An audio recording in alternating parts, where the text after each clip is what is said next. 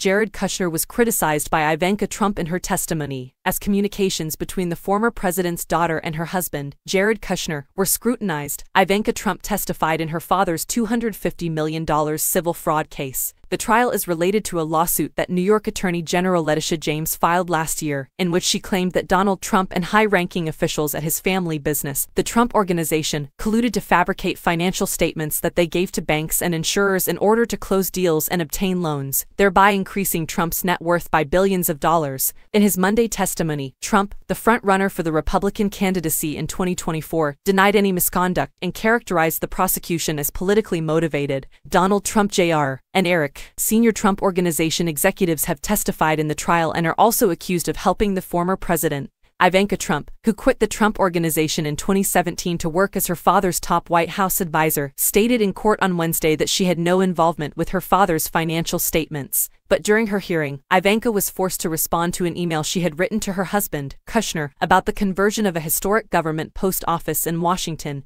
D.C., into a five-star hotel bearing the Trump name. A few years before Trump took office, the Trump Organization had negotiated a deal that included a nine-figure loan. Nevertheless, emails presented in court reveal that Kushner had advised on obtaining the advantageous conditions. In an email to his wife dated June 17, 2013, Kushner said, Who can get better pricing for such low, pointing her toward one option offered by the Manhattan-based Natixis Bank. Ryle.